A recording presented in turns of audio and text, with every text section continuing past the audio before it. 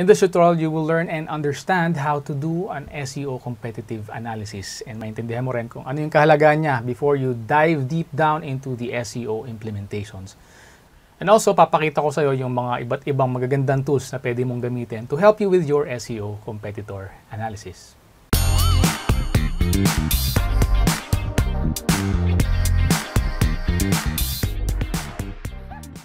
What's up everybody? Carlos Obado here and I'm a digital marketing expert who has worked with various digital marketing agencies before doing SEO, Facebook ads, Google ads, and website creation and optimization. And now I want to share with you all the things that I have learned about digital marketing.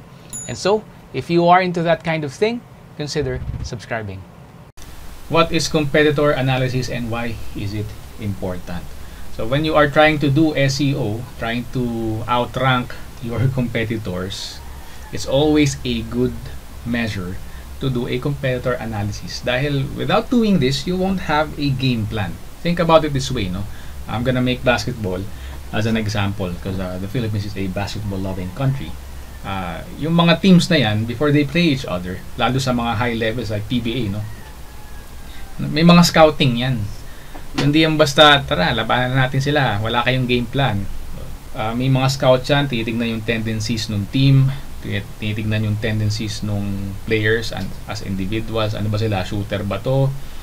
Kahit sa ligang labas lang eh, ganun yung ganun yan eh. So after ng game nyo, minsan magstay pa kayo dun sa court para panoorin yung kalaban nyo na sa uh, next week o next uh, following days. Tingnan mo kung ano ba siya, triple threat ba siya, slasher ba siya, yung mga tendencies niya So, all of this, para magkaroon ka ng game plan para uh, to compete, to win. And ganoon din sa SEO. Kasi let's face it, ang SEO, mahirap siya gawin. Lalo sa mga very competitive na terms, ang verticals, no? ang hirap mag-rank ng website. Lalo na kung wala kang game plan. So paggawa ng uh, competitor analysis, nalalaman mo kung ano yung keywords na pwede mong i-target. Nalalaman mo na mas mabilis at mas maayos mas definite kung ano yung content na pwede mo pang i-create. And uh, malalaman mo rin kung ano yung mga backlinks and referring domains na dapat mong tapatan or even better lampasan to be able to outrank and beat your competition. So let's start with the keyword research. Uh, pagka yung competition mo hindi naman ganun ka competitive, no? You can get away with uh, Google Keyword Planner.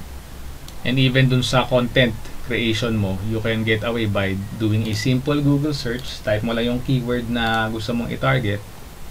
And makikita mo yung top competitors mo doon. You can check out their content. And makikita mo yung, you, you will have a good baseline. You can take note of their content, uh, word count, topics, topical uh, SEO. And from then on, makakapag-formulate ka, you can add those uh, uh, observations sa isang spreadsheet. So you can get away with it without paying for any tools. Uh, but you cannot determine kung ano yung backlinks count. Hindi mo makikita yan. Kasi uh, for you to be able to do that and all the things that I've mentioned, the keyword research and uh, uh, content creation, to be able to do that better, kailangan mo ng SEO tools. Lalo kung very competitive yung niche. So, andyan sila Moz, meron silang pinoprovide na tool. I've Moz, uh, SEMrush, Majestic SEO. Pero ang favorite tool ko is si Ahrefs. I'd say there are certain features na ino-offer ng ibang ibang platforms na mas lamang kay Ahrefs. Pero si Ahrefs, halos lahat kasi ng, ng features niya talagang the best eh. And uh, even yung claim nila na yung Keyword Explorer is even better than uh, Google's own Keyword Planner tool. So si uh, Team Solo, yung head ng kanilang marketing, he, he claimed that. Uh, I was uh, in Chiang Mai SEO conference a few years back and yun yung in-explain niya. No?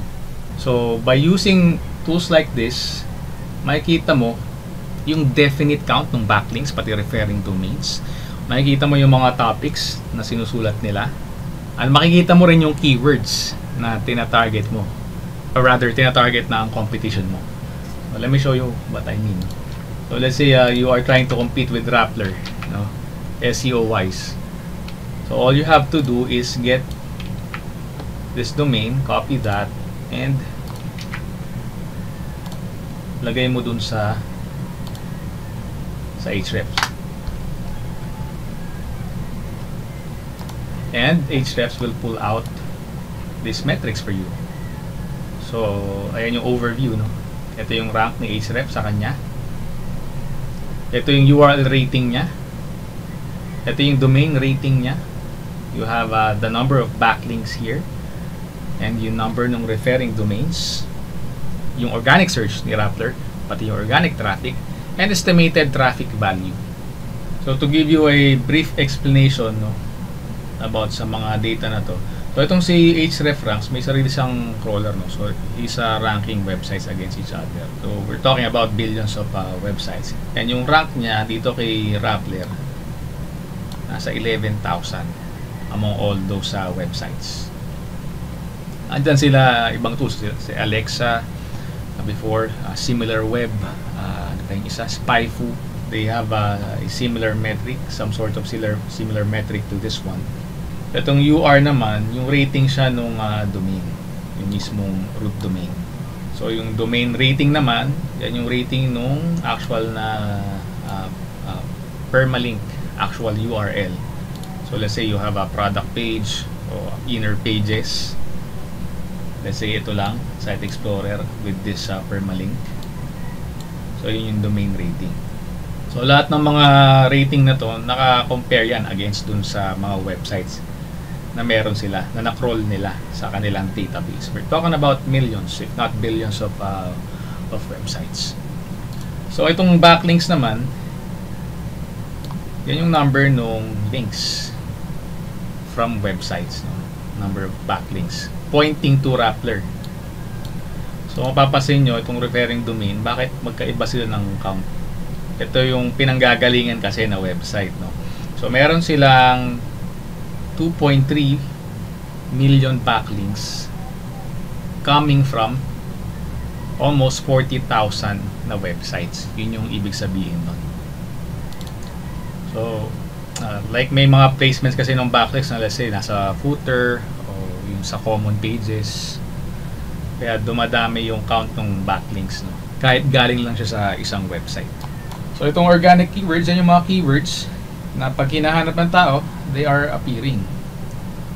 Makakuha sila ng uh, traffic. Papasin nyo, ito yon yung traffic na nakakuha nila. This is their estimated traffic value. Hindi naman siya accurate talaga, no? In, in my experience, no? Pero it can give you an idea, a data to begin with, to have a like a ballpark estimate at least. So if we scroll down, makikita rin natin yung number ng mga do follow links, uh, yung uh, types ng referring domains na naka, naka-link dito kay Rappler. So merong uh, government, ito yung mga mga websites no, educational.com, .net, yung total number ng uh, do follow links and no follow links, uh, sponsored. So andyan yung mga brief summary. Okay, so let's go ahead and click backlinks. And dito makikita natin yung details ng backlinks. No? Yan yung backlink profile ni Rappler. And from here, you can filter out the date, you can filter out the link type, kung do follow ba, o no follow, o sponsored.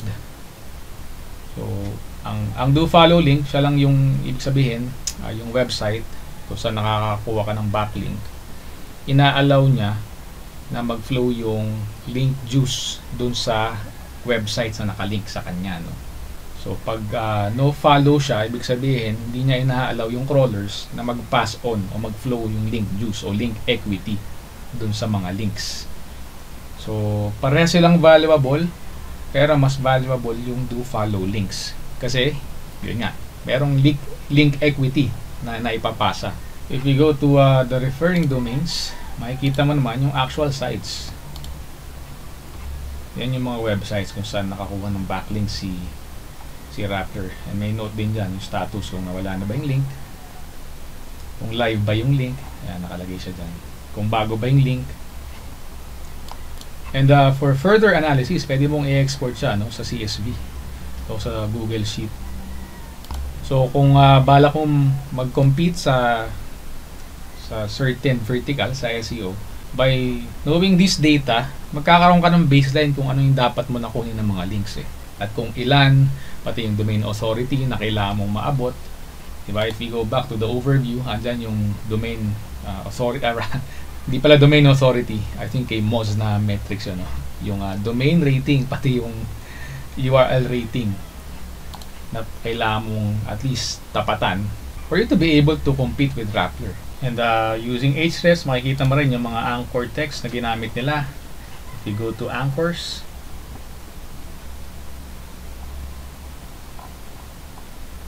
And if you go to the organic keywords, yan yung stats. So, yan yung stats ng uh, organic keywords ni Raptor. So, andyan, nakikita mo yung volume, keyword difficulty. So, metric lang to kung gaano kahirap to compete with uh, those keywords. Cost per click, if you want to run paid, paid traffic. So, yung traffic, volume, yung position, kung ano yung URL. So, ang daming details na pwede mong magamit into useful information. Pati yung top pages ni Rappler, pwede mong makita. Kumbaga sa basketball, para siyang scouting report. Nakikita mo yung mga strengths and uh, possible weaknesses ng kalaban mo. And dahil dyan, mas madali ka makakagawa ng game plan mo. So sa backlink profile na lang, no? So dahil meron ka ng good baseline kung ano yung backlinks niya, ano yung uh, URL rating ni Rappler, you can have a better action plan when it comes to your backlink uh, strategy, outreach plan uh, na pwede mong implement para sa website mo to be able to compete with Rappler. Kasi yun yung actual numbers. Oh. So yung uh, direct correlation na lang no, when it comes to uh, backlinks and content creation. No. If you go to top pages, so dito makikita natin yung top pages ni ni Rappler. Okay, andyan yung position, andyan yung traffic na nakukuha niya, yung page URL, yung uh, value. So, dito pwede rin nating i-filter yung location. So, pwede mong i-filter to all countries. O kaya, hanapin natin yung Philippines. And then, let's see how it goes. Yan, nakikita nyo yung traffic. Mas marami sa Philippines, no? Yung value ng traffic, yung uh, referring domain, ng URL na, na nakalagay dito. So, dito makikita mo rin yung mga uh, content ni Raptor na nakakakuha ng maraming uh, maraming traffic kahit konti lang yung backlinks. So like, ito na lang, no? They have uh, 15,000 traffic pero walang referring domain. So this can be, you know, this can be uh, looked at as an opportunity if you are competing against Raptor, no? Now, if we go to top subfolders, so dito makikita mo yung percentage ng traffic, no, depending dun sa sa subdomain o subfolder ni Raptor. Again, this time let's filter to all countries. So from here we can see na majority ng traffic they land on Raptor's homepage. And then next one, 33% dun sa Rappler Nation. So by doing this, you will have a better idea on what topics or content to write about. So if we go back to top pages, makikita natin dyan yung uh, quality ng links at kung saan siya nakalink. Let's say this one. So number 2. If we click on this one, we would see yung backlink profile niya no, from these uh, referring domains. And this can be filtered uh, as do follow, uh, no follow, redirect, and etc. And uh, another one of my favorite na ginagamit dito kay Ahrefs is yung content content gap. So if we go there, so this tool right here will help you find your uh, uh, or find keywords or content to target uh, kung saan yung competitors mo they are ranking within the uh, top 100 pages ni Google. So if you don't have an idea kung ano yung competitors mo, you can use uh, uh, these uh, competing domains para makita natin yung competitors ni Raptor and then we can add them here uh, and then use uh, content gap analysis. So another tool na magandang gamitin dito kay Ahrefs is itong uh, Content Explorer. So all you have to do is go here and then input the keyword that you're trying to rank for and then you can uh, uh, have it uh, filtered dun sa mga topics na meron silang na wala silang backlinks pero they are ranking and they are getting uh, relevant traffic so you can filter down the traffic to let's say 1000 2000 uh, it's your preference really. So easy win situation yun no? If they don't have backlinks all you have to do is compete with the content of those website and uh, easily get the traffic of your competitors.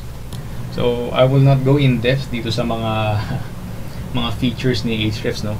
Because I believe na each one of them they deserve uh, their own videos their own tutorials no? Pero as you can see no? Napapadali yung buhay mo no when you are doing competitor analysis. Nalalaman mo kung ano yung mga keywords mga topics na magandang i-target uh, yung mga content na magandang i-create uh, using this tool. Also by the way uh, makikita mo 5 billion pages yung na-index itong si content explorer no? so ganyan saka powerful so it will help you and actually it will give you fresh ideas on what topic what keywords to target and yung backlink profile makikita mo sa kanya unparalleled yung kanilang uh, backlinks analysis in my opinion. Because uh, I've used uh, almost all of them. Like I said si Moz, sila Majestic SEO, SEMrush and wala talaga, Ahrefs talaga yung the best. So paano if you don't have uh, the budget uh, for Ahrefs? You can only use uh, free tools kumbaga. Then you can uh, go for Google Keyword Planner. Hindi siya ganun ka-accurate pero it, it will help. You can install this uh, Chrome extension na ginagamit ko. Itong si uh, Keyword Surfer it's for free. Although hindi lang ganun ka-granular yung uh, keyword results I think wala pa yung Philippines sa kanya. Pero you have a baseline. If you are like targeting other countries like let's say US So you can install this on your Google Chrome browser as an extension and then you can use that for keyword research. Regarding the content, you'll have to do it manually. So you are after uh, identifying your target keywords, so you can type type them here. And then uh, at least lagay mo yung top 5 dun sa isang spreadsheet. And then you can analyze their content. Pero when it comes to backlink analysis, uh, you, you really need a tool like Ahrefs. If you find this video helpful, please smash that like button. And if you have any questions or suggestions, feel free to comment them below. And for more content about digital marketing, just like this one, consider subscribing.